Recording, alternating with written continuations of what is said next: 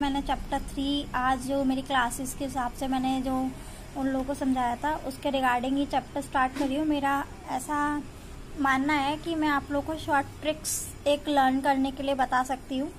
ठीक है, इसी के रिगार्डिंग मैंने ये वीडियो बनाई है। और कुछ ज़्यादा खास यूट्यूबर ऐसी कोई बहुत फ़ेमस यूट्यूबर नहीं हूँ मैं, एक नॉर्मल सी हूँ, बहुत ही ज़्यादा नॉर्मल ये कह सकते हैं। बट मेरा ट्राई रहता है कि मैं अपने स्टूडेंट्स को हमेशा ऑलवेज हेल्प करूँ। उसी रिगार्डिंग मैंने ये वीडियो अपलोड करने की सोची। अगर थोड़ा सा भी अच्छा लगे तो प्लीज़ लाइक ज़रूर करना और अपने से जुड़े लोगों को ज़रूर शेयर करना। देखो, पढ़ाना और पढ़ना, दोनों ही अलग अलग चीज़ें। पढ़ा, मैं ऐसा आपको बताना चाहती हूँ, मैं ये अपनी जो नॉलेज है, मैं शॉर्ट ट्रिक में इसलिए बताना चाहती हूँ कि आपको जल्दी से जल्दी लर्न हो जाए। ठीक है? और आज मैं केवल पॉइंट्स बताऊँगी। कल मैं 3.1 नहीं कराती। मैं 3.1 किसी को नहीं बताती क्योंकि वो अपने आप से मेज़रमेंट का एक नॉलेज होता है तो 3.1 नहीं बताती। मैं वो पॉइंट बता रही हूँ जो खास आपको याद रहे और एग्ज़ाम्स में आपके आते हैं। तो उनके शॉर्ट ट्रिक्स है मेरे लिए। ये मेरे लिए मैंने खुद से समझाने के लिए, जैसे कि आपको शॉर्ट याद है कि चैप्टर में है क्या। उसका ओवरव्यू है। हम्म? ठीक है तो अब ज़्यादा हम नई बात करते हैं। पहले हम कोऑर्डिनेट ज्योमेट्री के बारे में करते हैं। कोऑर्डिनेट ज्योमेट्री क्या होता है? कोऑर्डिनेट ज्योमेट्री एक ऐसी चीज़ है जिसको अपन को पॉइंट को लोकेट करना हो। किसी चीज़ को लोकेट करना हो। जैसे मुझे कोई किसी की पोजीशन बतानी हो तो उस पोजीशन को बताने के लिए हमें कोऑर्डिनेट ज्योमेट्री पढ़ना पड़ता है।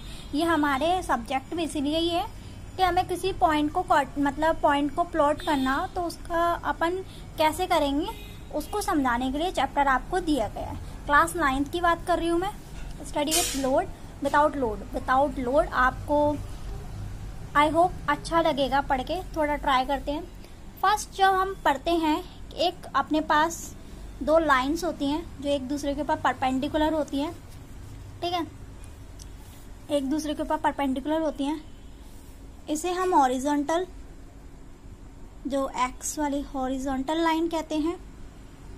दिस मीन्स हॉरिजॉन्टल लाइन जो एक्स होता है वो हॉरिजॉन्टल होता है। एक्स जो लाइन होती है, जो ये पूरी वाली जो लाइन होती है हमारी जो, ये हमारी हॉरिजॉन्टल होती है। जो स्टेट लाइन है, इस सेकंड लाइन पे, इसे बोलते हैं वर्टिकल क्या बोलते हैं इसको? वर्टिकल लाइन ओके ये वाई होता है हमारा। ऊपर पॉजिटिव नीचे नेगेटिव होता है। और यहाँ मैक्स माइनस का होता है या प्लस का होता है।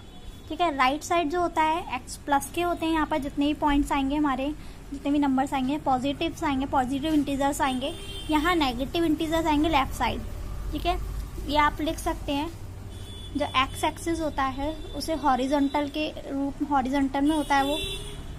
ठीक है, जो वाई होता है, वो वर्टिकल होता है। ठीक है देन ठीक है, और इसमें भी दो तरह के पॉइंट्स होते हैं पॉजिटिव और नेगेटिव इंटीजर्स ठीक है? ओके इसमें भी वही होता है, एक प्लस पॉजिटिव और एक नेगेटिव जो पॉजिटिव होता है राइट साइड होता है और ये लेफ़्ट साइड होता है. ठीक है? ये अप होता है और ये डाउन होता है.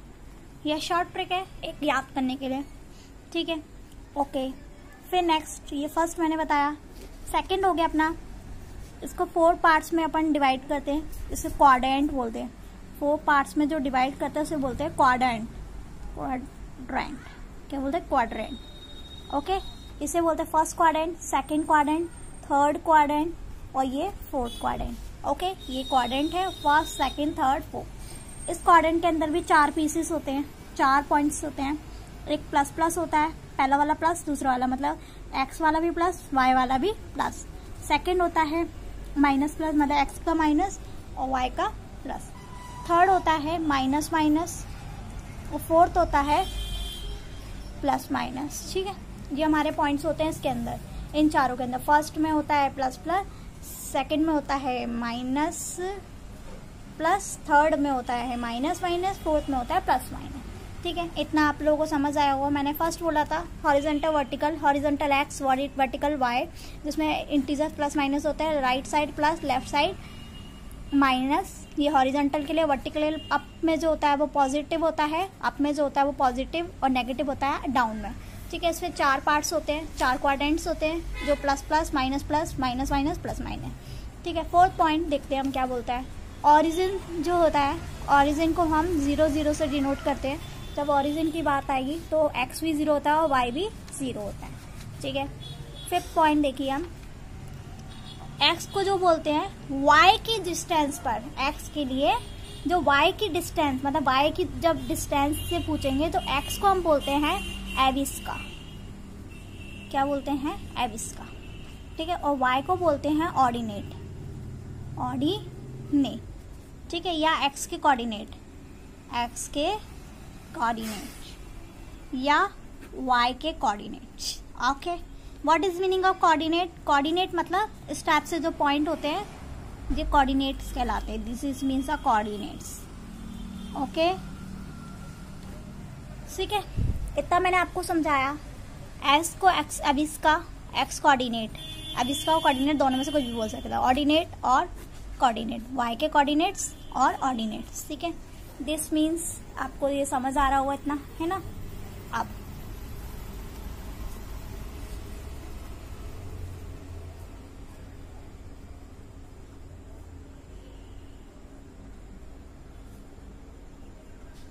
यही हमारा इतना चैप्टर का एक्सप्लेनेशन था।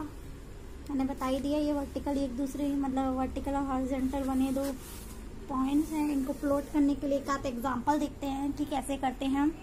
ठीक है? जैसे कि मुझसे किसी ने बोला कि आपको टू और फोर को प्लॉट करना है किसी पॉइंट पर। तो मैंने एक लाइन ड्रॉ करी। पहला वाला एक्स होता है, जैसा कि मैंने आपको बताया था ऑलवेज ऑलवेज पहला एक्स होगा ऑलवेज चाहे नाइन्थ में पढ़ लो, चाहे टेंथ में पढ़ लो इलेवेंथ में पढ़ लो ट्वेल्थ में एक्स हमेशा ऑलवेज फ़र्स्ट होता है, क्योंकि अगर अल्फाबेट्स भी हम देखते हैं तो पहले एक्स आता है, फिर बाय आता है। इस वजह से इसको अपन मान सकते हैं, पहला एक्स आता है, फिर बाय आता है। ठीक है तो अपन को प्लॉट करना है टू और फोर सपोज़ ठीक है? दोनों पॉजिटिव है मतलब फ़र्स्ट क्वाड्रेंट की बात हो रही है दोनों पॉइंट देखना फ़र्स्ट क्वाड्रेंट में ही आएँगे। देखते हैं अपन। मैंने यहाँ पर ज़ीरो बनाया। वन शू यहाँ पर भी, यहाँ वन बनाया और यहाँ भी मैंने टू बनाया। अब मुझे कितने चाहिए? टू और फोर थ्री और ये फोर ठीक है? तो यहाँ मैंने प्लॉट कर दिया पॉइंट ठीक है? तो ये हो गए मेरे टू और फोर इस टाइप से हम प्लॉट करते हैं पॉइंट ठीक है, आप दिख हो गए आपको। ठीक है कभी कभी हम इनको नाम भी दे देते ए तो उसको हम बोलेंगे coordinates coordinates coordinates of of a ऐसा भी हम बोल सकते हैं। ठीक है? इतना ही चैप्टर के एक्सप्लेनेशन एक्सप्लेनेशन था। इस चैप्टर के अंदर यही सब चीज़ें हैं। कि पॉइंट कहाँ पर है। अब इसका क्या होता है? और किस टाइप से होता है? ठीक है? और हॉरिजेंटल क्या होता है? क्वाड्रेंट्स क्या होते हैं? प्लस प्लस क्या होता है? माइनस प्लस कहाँ पॉइंट प्लॉट होता है? इस टाइप के हम ये यही चीज़ हम इसके अंदर पढ़ेंगे। और यही पूरा चैप्टर इसी के ऊपर बेस्ड है। 3.2 जो भी बेस्ड है, इसी पूरे चैप्टर पर यही बेस्ड है।